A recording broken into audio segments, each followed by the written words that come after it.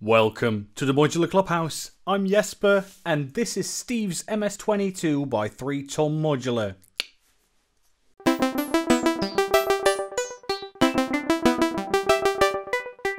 Before I'm going to tell you all the ins and outs, the history behind the MS22, um, everything that Steve O'Hare had to do with this, I do want to just show you what a tremendous beast this is.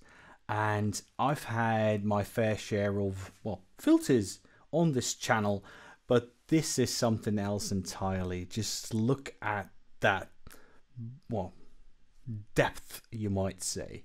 So I, I first of all, uh, before we dive into the functionality, just have a look at that.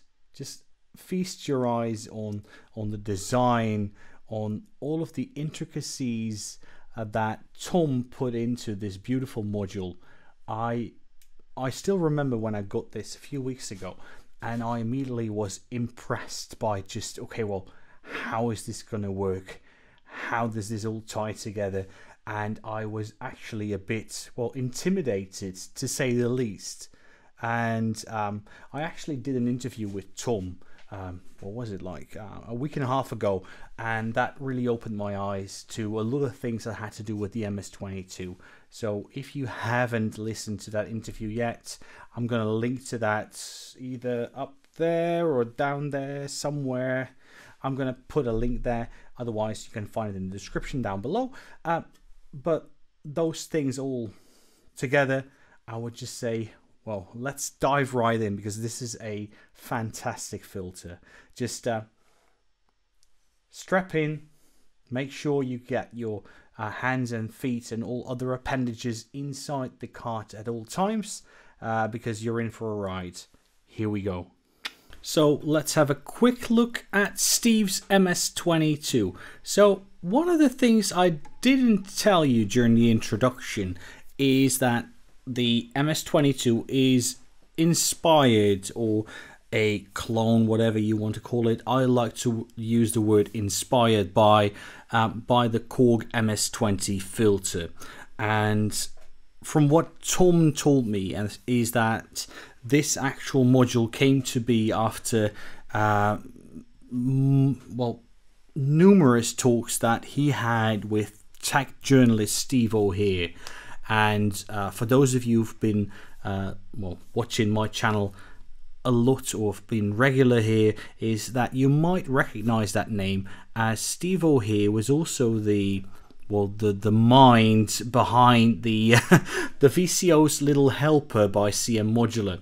So again, this is one of the great things where Steve O'Hare has um, well, truly made a legacy for for himself in well within modular. So that being said, let's just quickly run through the, um, the actual user interface that we've got here. And let's start from the bottom and work our ways up, right?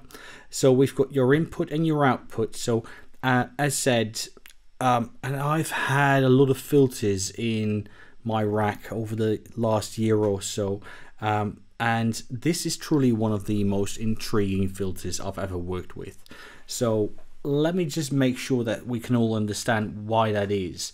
And where that actually starts is just right up there where you have two CV inputs one for the frequency CV and one is the so-called auxiliary CV and what you can then do is you can then route as you can see by the lines on the module itself you can actually see how that then behaves. So the frequency input is not uh, a volt per octave, uh, but because you do have an attenu uh, uh, attenuator here, you can of course approximate a volt per octave behavior on the well, the one at the top there, which is the low pass cutoff frequency.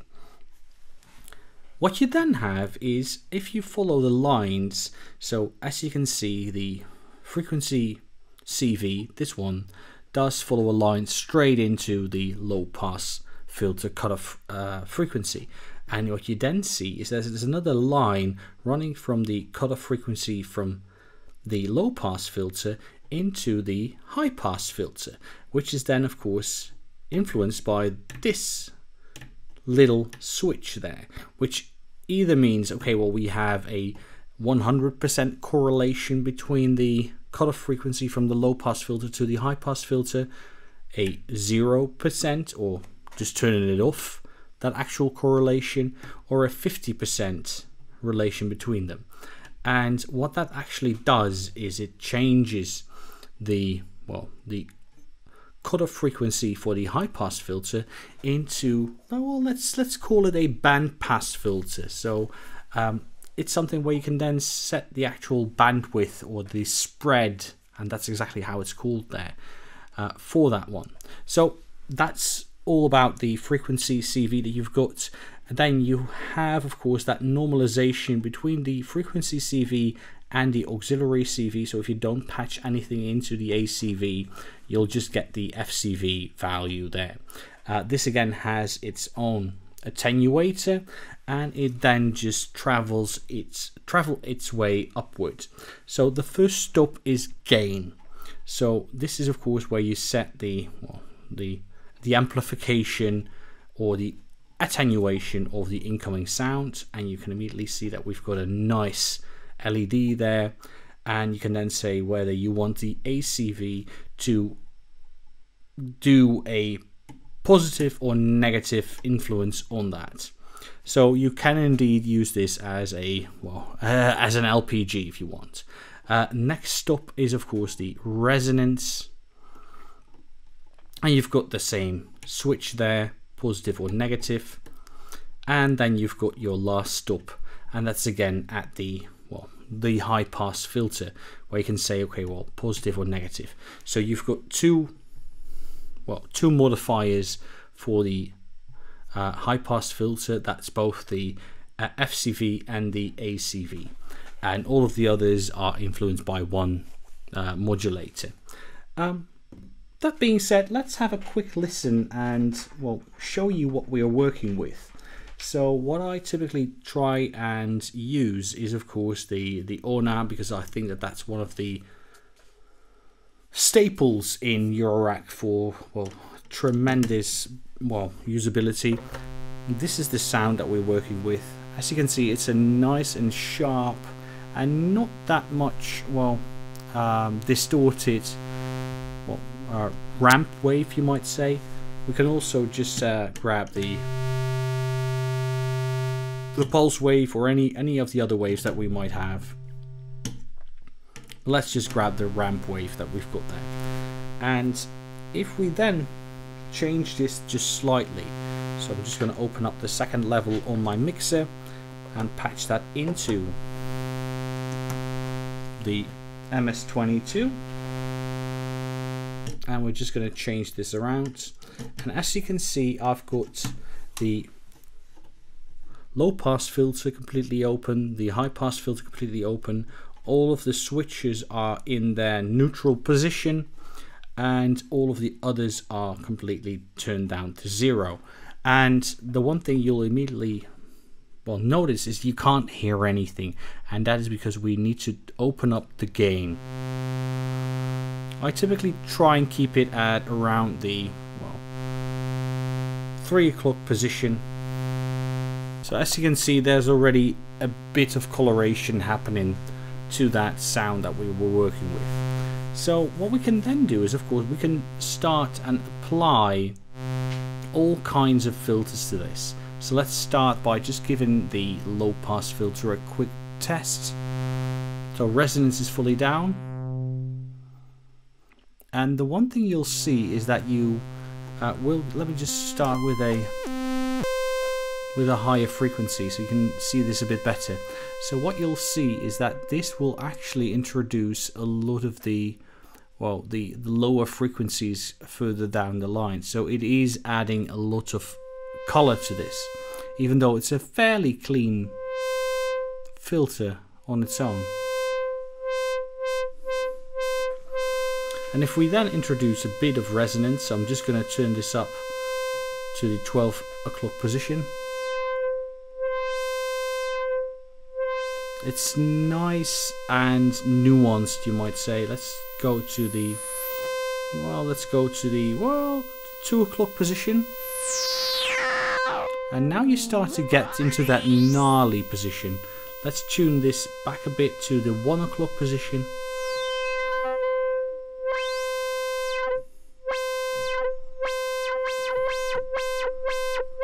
That's nice, right? So let's then sync both the low pass and the high pass filter. So now it's 100%. So now we have a very tight band pass filter where you can actually just influence the, the bandwidth with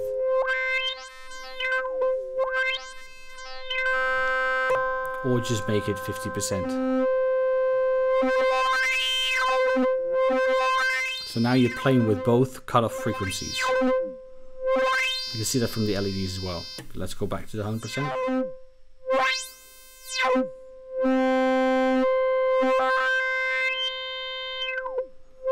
So now we've got a very shallow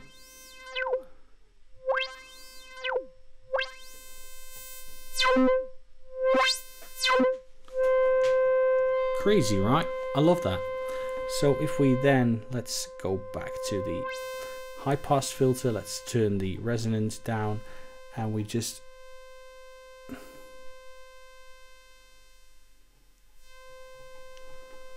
as you were expecting, right?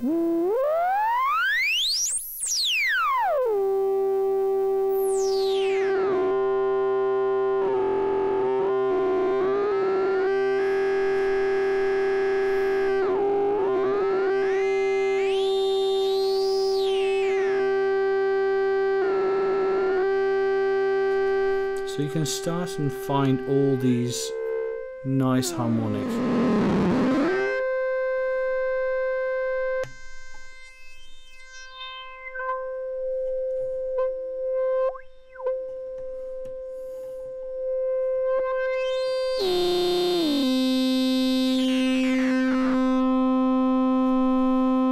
So this is of course extremely nice, but let's um, get something going that's not just you guys listening to me trying to um, create something with my hands. Let's just use a, a proper sequence for this. So as always, I'm using the the Hermod, which is then plucked by the Pam's new workout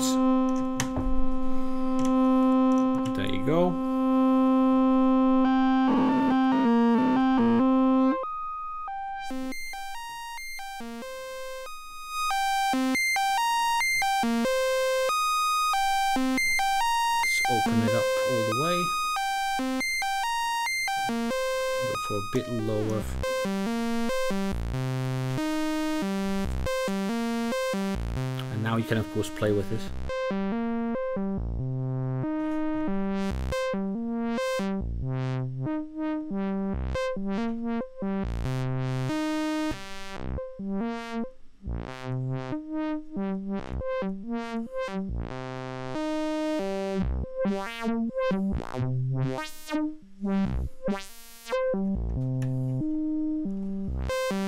So that's of course nice if you can play with those kind of things, uh, but it's of course much nicer if you can actually, well, do something with it. So instead of just using the full per octave signal, let's just mult that. I'm using the Tesseract uh, 8x8 buffered mult and let's use that to, on the one hand, patch that into the actual oscillator, but then also do the exact same thing and throw that into the FCV, the frequency CV. So as said, this is not a full per octave input, so you will need to do something with the attenuator there. So from experience, I can say that if you put it at the 12 o'clock position, it is already quite usable.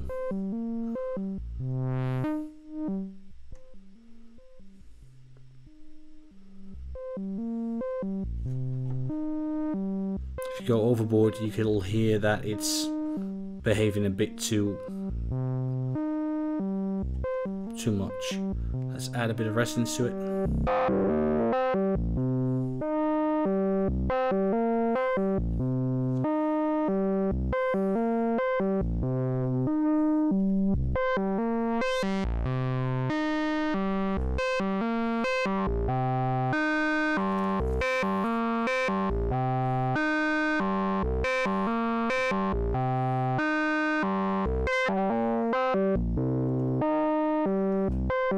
So you can start to play with those kind of things. What you can then also do is, and do keep in mind that the uh, ACV is of course normals, but what I'm now going to do is I'm just going to do the exact same thing that we did before, and that's just do the link between the uh, low pass filter and the high pass filter. So now I'm just doing 50%, open it up a bit further.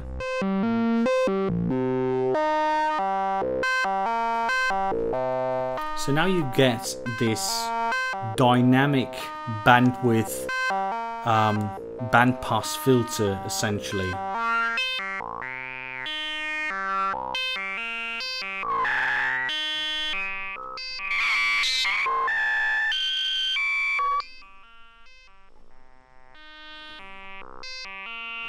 Or you can just do the 100% and then you've got this static bandwidth bandpass filter.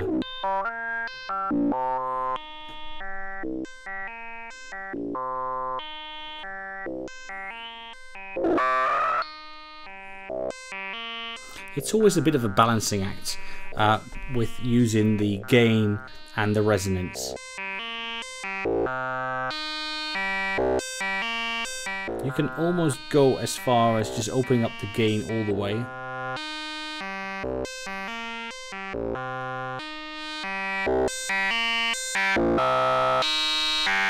But the resonance will get gnarly pretty quickly. Let me just show you what I mean by that.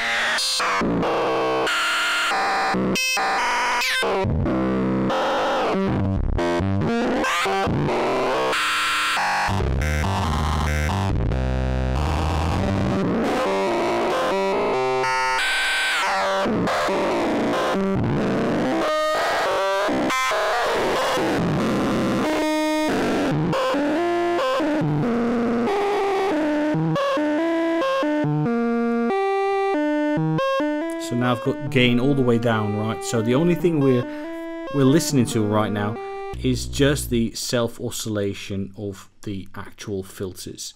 So and this is something I truly love. So let's go down on gain and just add a bit of this.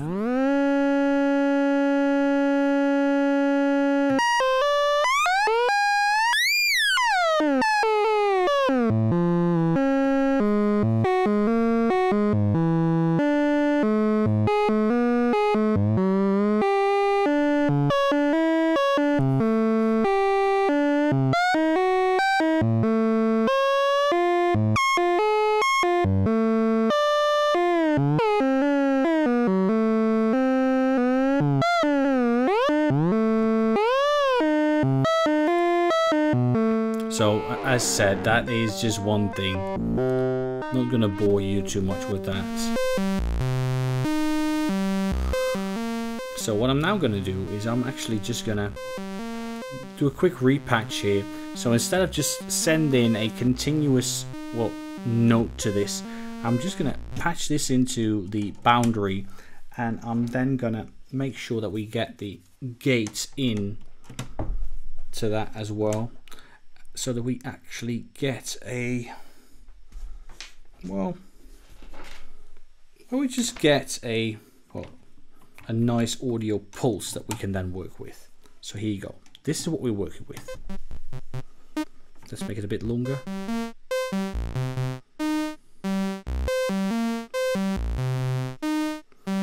Bit more gain to it. Bit of resonance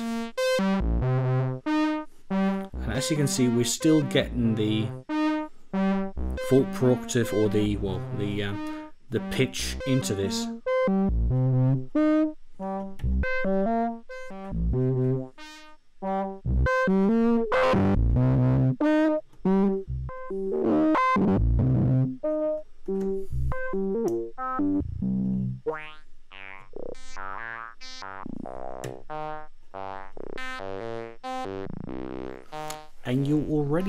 To hear these almost vowel-like sounds, right? And that is something that we can truly work with. So the next thing that I'm going to do is I'm just going to grab the envelope out of the boundary and use that as the auxiliary CV. Let me just open this up all the way. And let's go and close the gain.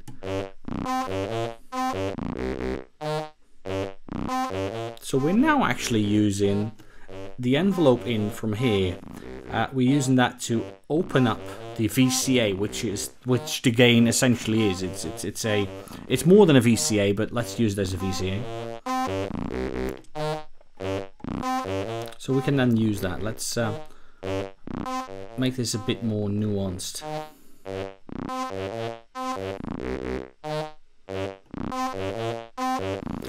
Can also do is if we use it like that, if we then use that to add a bit of resonance to it. So I flip the switch so it's now going to positively influence the, the resonance. And as you can already hear, that this is already too much.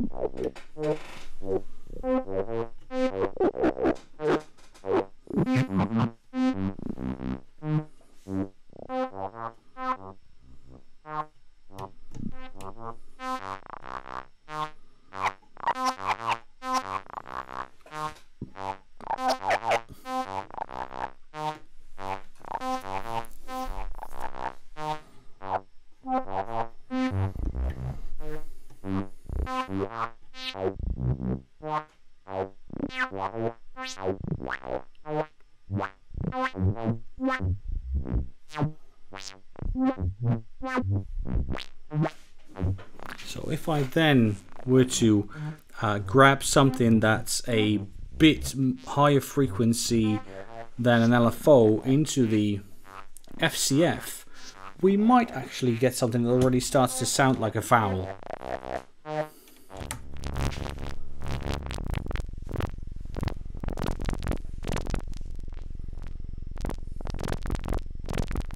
Hmm, that might be not be the the best approach there, but let's uh, grab another one. I'm just going to grab a quick LFO.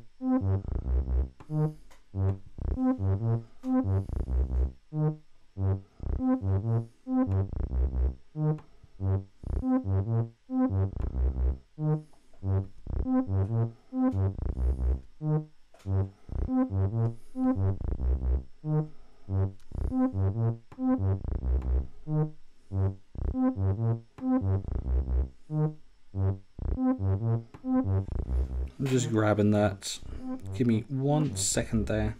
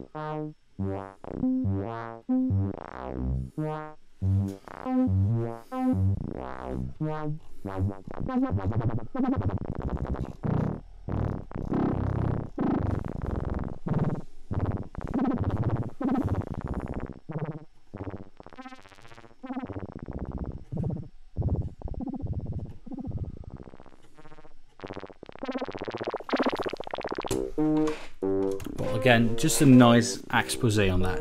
So I think that I've been focusing enough on the MS-22. Let's use this to create a nice bit of noise.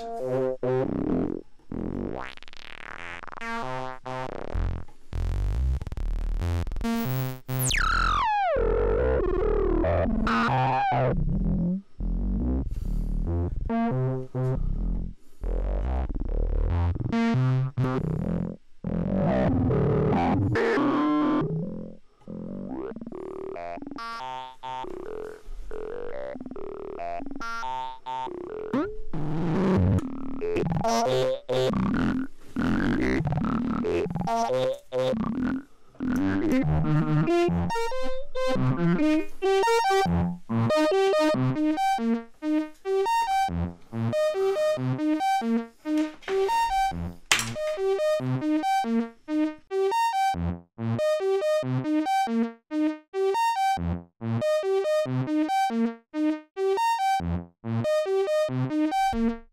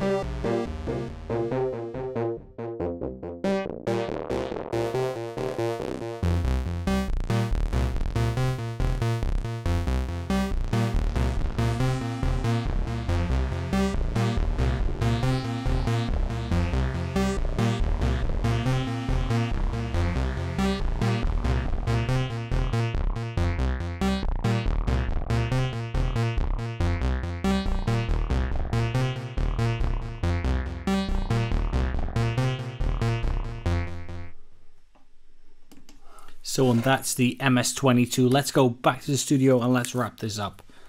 Talk to you in a bit. so, I truly hope you really enjoyed this video on the uh, Steve's MS22 by 3 Tom Modular, who I do have to thank for making this unit available to me. Um, as always, uh, Tom didn't have anything to say on this video, uh, but I can go totally go well above and beyond actually just recommending this module. If you have a chance to pick up an MS22, uh, please, for everything that is holy or uh, good or, well, sacred to you, pick this up ASAP because I think that this is one of the most comprehensive, um, also, you might say, uh, least forgiving filters I've ever worked with. But that is of course the overall approach to this thing is it is it is not forgiving. Um, you will go out and you will you will wipe out. Uh, but once you get the hang of this filter it's going to become your best friend absolutely without a doubt. So um, that being said, I'm not going to make this any sort of commercial, uh, but I do make sure that I want to be absolutely clear that this is by far one of the favorite things I've ever worked with. So, that being said, I do want to thank everyone for uh, tuning into this episode. I do apologize for taking a bit longer than uh, usual between episodes the last couple of weeks. We had some things going on, um, but other than that, I would say thanks again, everyone, for tuning in. Make sure that you like and subscribe. If you've got any questions, feedback, that's the only way I can grow. Uh, just drop them in the comments down below or reach out to Jesper at the modularclubhouse.nl. Uh, for now, um, the world is a crazy place right now, so uh, I do want to go and say and state all of my support to all of my friends out there in the Ukraine or everyone else that might be impacted by the current situation. Uh, let's make sure that um, make sure that um, more intelligent minds prevail, right? And um, please stay safe, stay healthy, uh, which is probably has got a different connotation to it than a couple of weeks back. But uh, that being said, stay safe, stay healthy, and I truly hope to see you for my next video. Cheers.